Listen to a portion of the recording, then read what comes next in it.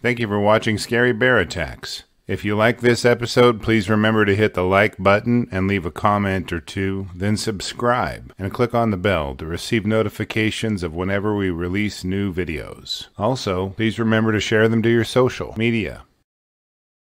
Welcome back to Scary Bear Attacks. Today's episode takes us to the Nalchine Public Use Area northwest of Anchorage, Alaska.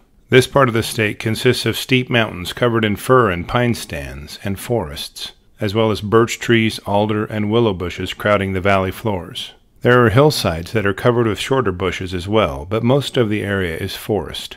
The animals here are the typical Alaska fauna, including moose, brown and black bear, as well as an abundance of fur bearers and birds.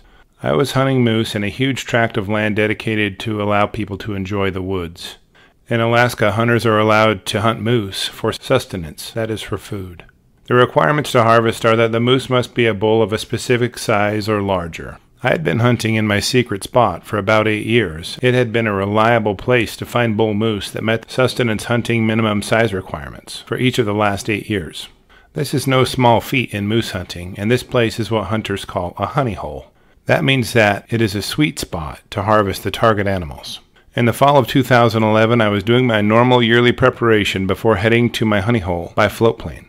I took careful inventory of my necessities and tracked their weight, as I would only have 180 pounds of cargo load to carry on my de Havilland Beaver before passing the weight limit. I grabbed the usual equipment my tent, sleeping bag, guns, ammo, and distinctly recall carefully examining my moose call and being excited about how much meat it had helped me put in the freezer.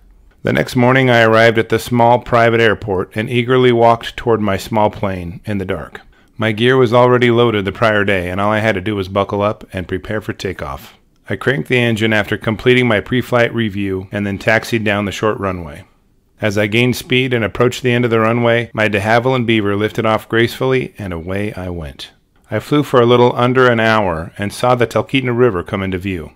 In stretches of the river is a steep canyon, which can make for very frightening and riveting wind patterns at times. I followed the river to the point at which it turns west, and I went east, gently landing in remote Stephan Lake. The lake is surrounded by a mix of tundra, bush, and small patches of sitka spruce. Now, sitka spruce are a particular species of spruce tree which are adapted to the Arctic and subarctic climates and grow in muskeg areas and don't usually pass about 5 to 7 feet in height. This area offered tremendous views to observe for my moose. As I unpacked my float plane and tethered it to the shore, I paused to take in the cool October air and the freedom and loneliness that Stephan Lake always gave me. It centered me in many ways and helped me keep perspective on life when I visited. I set up my tent and laid out my bed and sleeping bag and prepared my dinner. After eating dinner and briefly reading my Bible, I decided to get to bed. I was too excited to go to sleep right away and tentatively planned out my hunt for the next day. Uneventfully, consciousness faded and I fell asleep. My alarm startled me awake at 7:30 a.m. It was cold outside in my sleeping bag, and I hurriedly got dressed and put on my stocking cap. I warmed up some oatmeal and sipped my coffee quickly so I could get on the trail as quickly as possible. Then I remembered it wouldn't even get light for another hour. I decided to take advantage of having the time to start hiking toward the meadow that had often been bull moose and many other game animals there in the past. Utilizing my headlamp to light my way, I stumbled and huffed my way along the trail for about an hour and arrived just as the sun peeked over the horizon and light revealed the features of the land.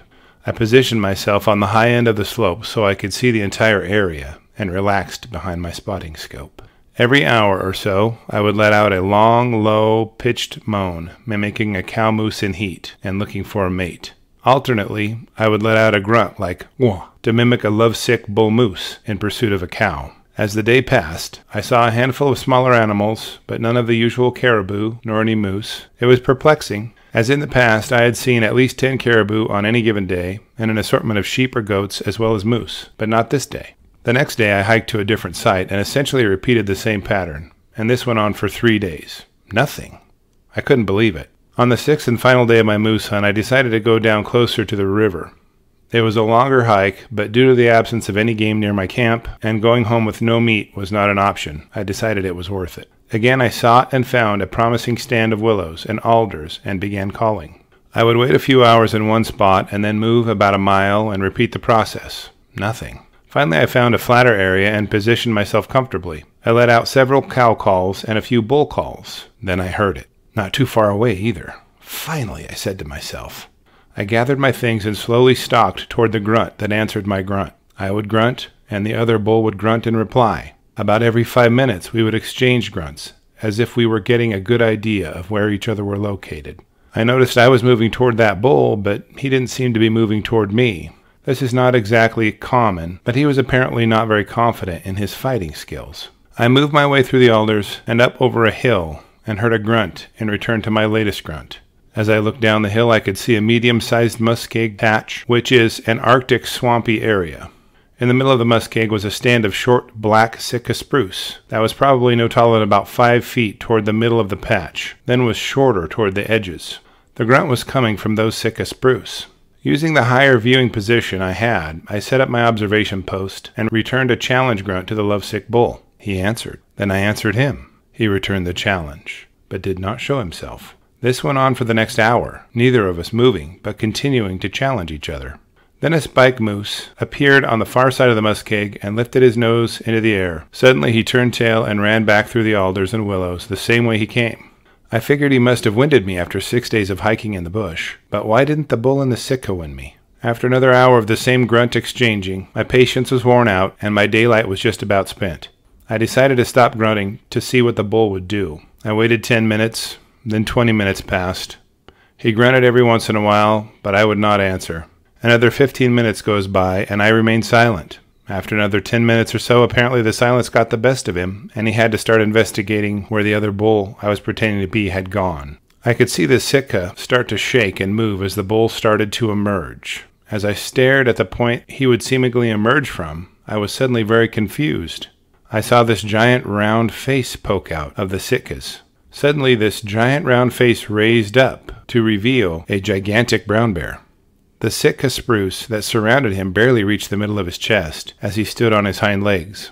According to this comparison, I guessed his height on his hind legs to be at least 10 feet tall. That is when it all came together in my mind.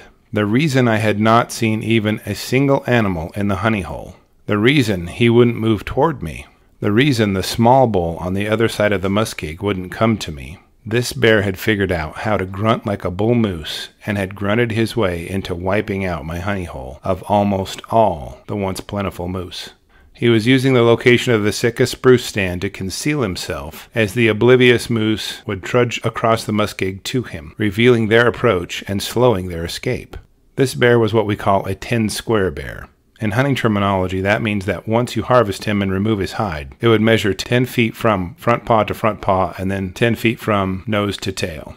The part that really frightens me is that this bear had somehow learned to mimic the mating grunt of a bull moose in rut and devise an ambush strategy that would allow him to see and hear them before they approached him and would limit how quickly they could escape from him. A predator this intelligent, thoughtful, and meticulous haunts my nightmares and now I rarely stay in the woods overnight, especially unarmed.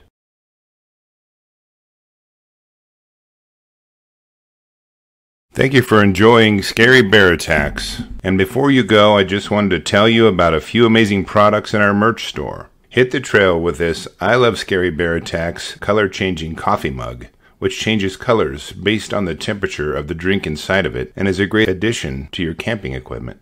Also, check out this I Love Scary Bear Attacks waterproof Bluetooth outdoor speaker. It's affordable and makes camping while taking our playlist along a breeze. Thanks again, and be safe, especially in bear country.